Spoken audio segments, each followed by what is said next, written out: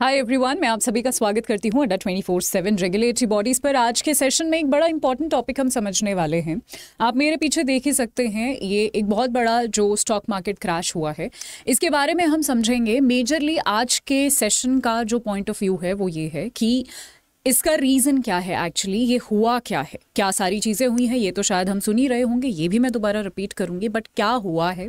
वो हम समझेंगे। आपके एग्ज़ाम पॉइंट ऑफ़ व्यू से अगर किसी भी बैंकिंग एग्ज़ाम के लिए अगर आप तैयारी कर रहे हैं, आपके एग्ज़ाम पॉइंट ऑफ़ व्यू से ये काफ़ी इंपॉर्टेंट टॉपिक है। आपके प्रेलम्स मेन्स और इंटरव्यू तीनों में ही इस तरीके के टॉपिक्स आपसे पूछे जा सकते हैं। शुरू करते हैं फटाफट। शुरू करने से पहले अगर आप चैनल पर नए हैं तो एक बार सब्सक्राइब ज़रूर कर दीजिएगा और अड्डा ट्वेंटी का ऐप भी डाउनलोड कर लीजिए, क्योंकि वहाँ पर हम डेली टेन एम अपलोड करते हैं, जो आप फ्री में प्रैक्टिस कर सकते हैं। अब आपने अक्सर सुना होगा कि सिर्फ़ एक छोटी सी ट्वीट या एक छोटे से मैसेज से पूरी इंडस्ट्री या पूरा मार्केट जो है हिल जाता है। एग्जैक्टली exactly कुछ ऐसा ही हुआ है। ये एक मैसेज यहाँ पर आप देख सकते हैं। सेबी की जो चीफ हैं और उदय कोटक यहाँ पर आप देख सकते हैं। उन्होंने एक चीज़ लिखी थी कि स्टॉक मार्केट में यहाँ पर आप देख सकते हो froth they use this word froth झाग जो होता है, आपने अक्सर देखा होगा, किसी भी जो भी पीने की चीज़ें होती हैं, उसके ऊपर एक जो झाग आ जाता है फ्रॉथ आ जाता है। उसको जो है यहाँ पर सिग्निफाई करते हुए इन्होंने बोला है कि स्टॉक मार्केट में एक फ्रॉथ देखने को मिला है, यानी जो चीज़ें हमें एक बबल की तरह जो है एक सिचुएशन क्रिएट हो रही है, जो कभी भी फट सकता है, यानी जो रियलिटी है वो हमें नहीं दिखाई दे रही है। एक्चुअल सब्सटेंस जो है वो नहीं है, बस ऊपर से जो है स्टॉक मार्केट में वो फ्रॉड दिखाई दे रहा है और एग्जैक्टली exactly इसी के बाद काफ़ी ज़्यादा जो है चीज़ें हुई हैं हमारे स्टॉक मार्केट में। समझते हैं एक एक करके क्या एग्जैक्टली exactly हुआ है। सो so, यहाँ पर अलग अलग न्यूज़पेपर्स ने इसको यहाँ पर कवर किया है। एग्जैक्टली exactly इन्होंने क्या बोला है वो मैं एक बार रीड करके ज़रूर बताना चाहूँगी। यहाँ पर she has mention SEBI chief की यहाँ पर हम बात कर रहे हैं। Additional disclosure regarding risk factors is necessary for the investors to understand difference between S M E segment and main board यहाँ पर जो है, इन्होंने बहुत सारे प्राइज मैन्युपुलेशन की भी बात करी गई है कि काफ़ी तरीके के अलग अलग तरीके से प्राइज मैन्युपुलेट हो रहे हैं। ठीक है आईपीओस भी जो है यहाँ पर आईपीओस की भी बात करी गई है। बहुत सारे स्टॉक्स ओवर वैल्यूड है, यानी जिनकी, उनकी, जिनकी, सच में उनकी जो वैल्यू है, उससे ओवर वैल्यूड जो है यहाँ पर प्राइजेस हैं, वो भी मैं आपको बताऊँगी कि कैसे किसी भी स्टॉक का या फिर किसी भी, हम जो है एक ओवर वैल्यूड वो है या नहीं, ये कैसे पता कर सकते हैं, उसका भी एक फॉर्मूला होता है जो मैं आपको यहाँ पर बताने वाली हूँ। आगे चलते हैं, आप यहाँ पर देख सकते हैं कि over 80 percent stocks BSE small cap index ये स्मॉल और मीडियम लार्ज कैप इंडेक्सेस क्या होते हैं, ये भी नेक्स्ट स्लाइड में हम समझेंगे। उन्होंने रिसेंटली रिकॉर्ड किया है नेगेटिव रिटर्न सिंस फेब्रवरी 19 यानी 2019 से अगर अब तक मैं कंपेयर करूँ तो बहुत ही ज़्यादा अभी तक के मैक्सिमम नेगेटिव रिज़ल्ट हमें देखने को मिले हैं। While in the same period Nifty had gain any तो यहाँ पर जो है, ये आपको ध्यान रखना है। एटी भी एक बहुत बड़ा नंबर है।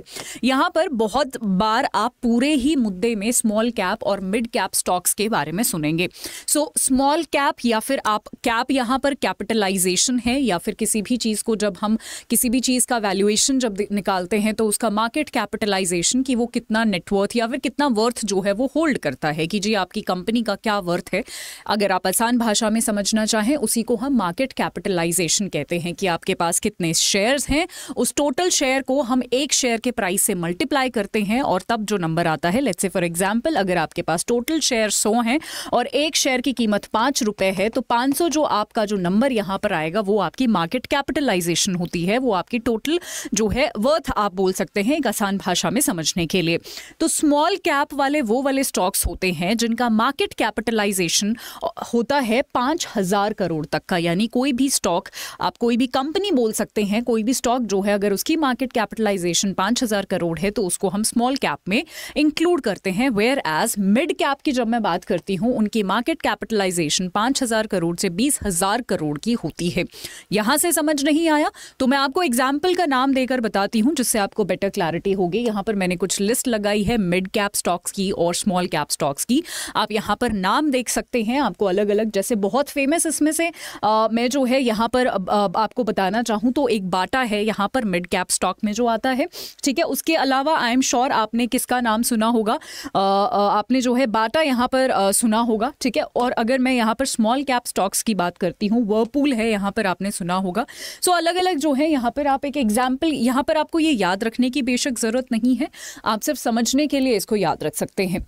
नेक्स्ट क्वेश्चन और जो सबसे इंपॉर्टेंट बात यहाँ पर आती है कि किसी भी स्टॉक को, अब बबल क्या होता है? बबल ये होता है कि किसी भी स्टॉक को हम ओवर वैल्यू दिखा रहे हैं, यानी जो उसका एक्चुअल प्राइस है, उससे बहुत गुना ज़्यादा हम उसको दिखा रहे हैं और जब वो फटेगा बबल जो कि फटता है तो हमारा स्टॉक मार्केट क्रैश होगा।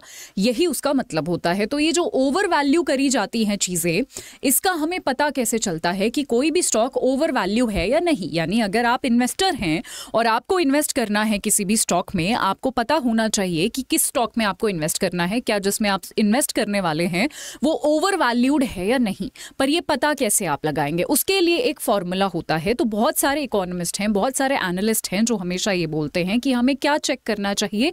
प्राइस टू बुक रेशियो या फिर प्राइस टू बुक वैल्यू होती है एक, वो चेक करना चाहिए, जिससे हमें पता चल जाता है if any stock is overvalued और not price to book price का मतलब प्राइस मतलब जो भी उसका मार्केट प्राइस होता है, उस स्टॉक का, उसको प्राइस कहते हैं। और बुक वैल्यू होती है, उसकी जो एक्चुअल वर्थ होती है, जो एक्चुअल वैल्यू होती है, उसको बुक वैल्यू कहते हैं। जब इन दोनों को हम डिवाइड करते हैं प्राइस को और बुक वैल्यू को लेट्स से फॉर एग्जांपल उस स्टॉक का, उसका जो प्राइस है वो दो सौ रुपए है और उसकी बुक वैल्यू सौ रुपए है, मान लीजिए डिवाइड करके जो ये नंबर आएगा वो दो आएगा, ठीक है? और फॉर्मूला के हिसाब से यहाँ पर आप देख भी सकते हैं।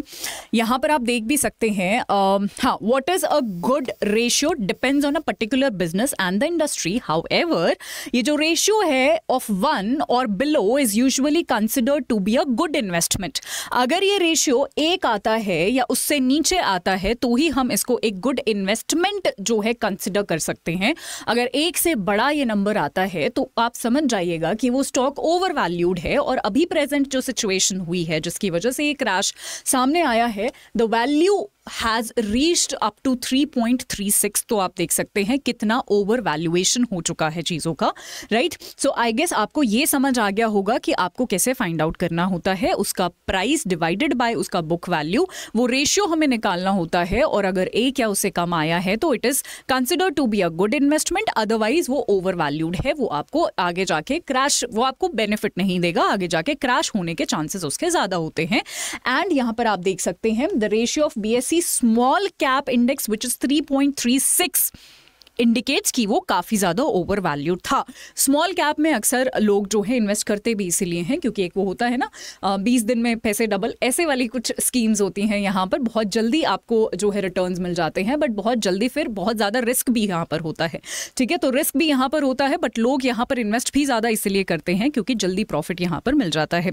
ठीक है, ये जो रेशियो है is a measure of the company का मार्केट वैल्यूएशन कितना है relative to its book value ठीक है? यानी आपका जो मार्केट वैल्यूएशन है, यानी मार्केट जो आपका प्राइस चल रहा है, वो डिवाइडेड बाय आपका जो ओरिजिनल वैल्यू है, उसको डिवाइड करके हम ये एक रेशियो निकालते हैं। Since the market value of the stock is typically higher than the book value investor look at the ratio to identify investment with the potential यानी ये रेशियो को ही देखकर जो भी इन्वेस्टर्स होते हैं, वो उस स्टॉक का कितना पोटेंशियल है, आगे जाके क्या फ्यूचर है, अक्सर ये जो है यहाँ पर निकाला जाता है। तो ये आपको याद रखना है कि कैसे एग्जैक्टली exactly आपको पता चलेगा। ठीक है? नाउ अब एक, अब अब क्योंकि सेबी ने जो है इसके लिए वार्न किया है तो क्या कुछ वार्निंग्स हैं और क्या कुछ ऐसे फ्यूचर स्टेप्स हैं, वो भी देख लेते हैं।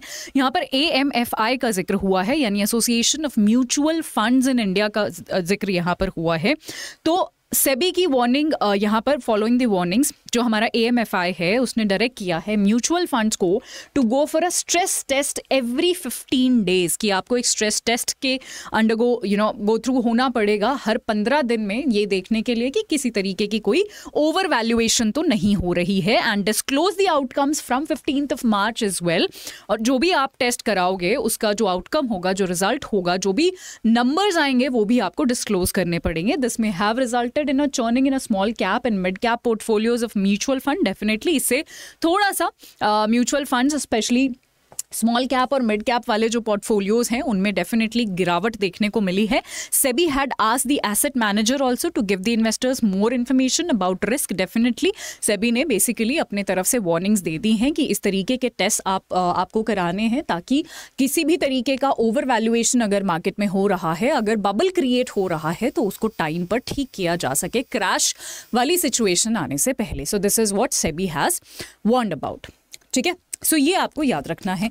आई होप आपको पूरा ये टॉपिक समझ आ गया होगा and at the same time आपको जो है रीजन भी समझ आ गया होगा। अगर कोई डाउट आपको फर्दर रह गया है तो वो आप मुझसे कमेंट सेक्शन में पूछ सकते हैं। एक छोटी सी इन्फॉर्मेशन मैं आपके साथ शेयर करना चाहती हूँ। Under twenty four seven celebrate कर रहा है बिग सेविंग डेज़ यानी हमारा जो नॉर्मल किसी भी बैच में आप इनरोल करते हो uh, let's say for example अगर आप आरबीआई की तैयारी कर रहे हैं आरबीआई का हमारा 4.0 बैच है, वो अराउंड अराउंड आपको चौंतीस सौ रुपए का पड़ता है, ठीक है? बट यहाँ पर बिग सेविंग डेज़ में हम आपको बैंक महापैक प्लस दे रहे हैं, जिसमें आरबीआई का तो कोर्स आएगा ही।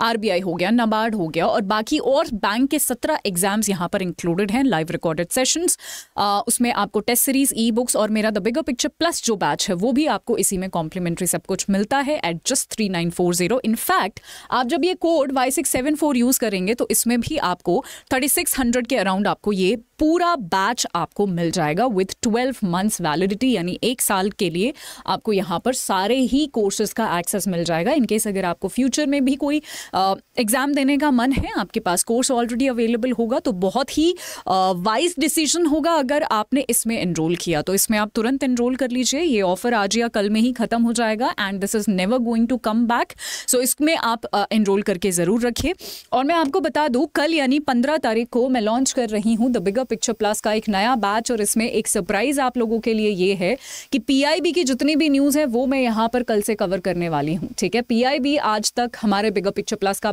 पार्ट नहीं हुआ करता था but now it is going to be the major part of the bigger picture plus so PIB की भी टेंशन आपकी खत्म होगी। कल चार बजे इसका ग्रैंड लॉन्च है। यूट्यूब पर ही है तो आप ज़रूर इसको देखिएगा और इसमें एनरोल करने के लिए भी आपको वाई सिक्स सेवन फोर ये सेम कोड यूज़ करना है। Right right? अगर आपके कोई और डाउट्स रह गए हों दिस इज़ माई टेलीग्राम आप मुझसे यहाँ पर कनेक्ट कर सकते हैं to ask any further queries if you have thank you so much आज के लिए इतना ही. I'll see you all tomorrow bye